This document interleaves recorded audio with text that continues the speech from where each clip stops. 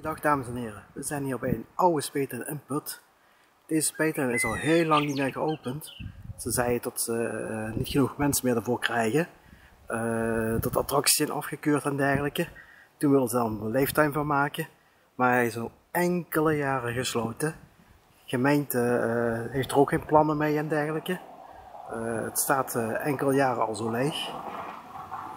wat ze hier verder mee gaan doen is nog altijd de vraag. Misschien uh, moeten we zelf eens uh, actie gaan ondernemen. Uh, voor weer een speeltuin te krijgen voor kinderen en dergelijke. Ik zou dan ook zeggen, like deze video, deel hem en dergelijke. Stuur het door.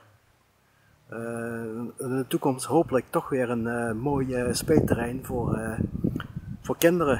Zoals je ziet, het is ondertussen overwoekerd en dergelijke. Nou, ik vind het zeer ernstig.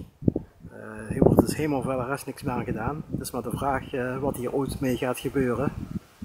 Uh, je ziet wel dat het gewoon, gewoon helemaal niks meer is. Als het nu gewoon jarenlang onderhouden was geweest, was het waarschijnlijk nog heel erg goed geweest. Je ziet het wel op de, op de beelden en dergelijke. We kunnen het terrein niet op. het terrein is helemaal dicht. Met hek en dergelijke. Ja, ik vind het jammer. Heel jammer.